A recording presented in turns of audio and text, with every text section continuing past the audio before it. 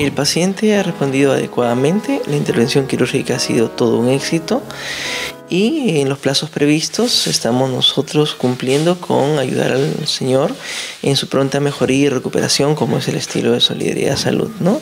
Con éxito se realizó la intervención quirúrgica al fiscalizador de transporte público Jorge Jiménez Delgado, quien fue atropellado por un irresponsable colectivero mientras cumplía funciones en la avenida Arequipa.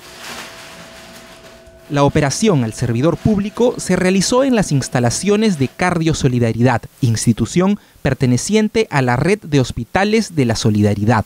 El señor Jiménez ha sido contributorio de una operación que se llama osteosíntesis.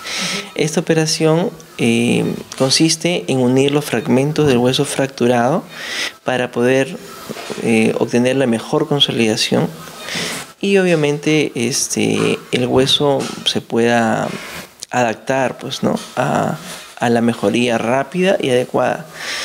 Para esto se ha utilizado una placa de titanio con unos pernos de titanio que son elementos especiales y muy sofisticados para estas intervenciones para que puedan unir estos fragmentos. Jiménez Delgado podrá recuperarse de las graves lesiones en 30 o 40 días. Bueno, ante todo, dar las gracias al alcalde por el apoyo que le están brindando a mi esposo.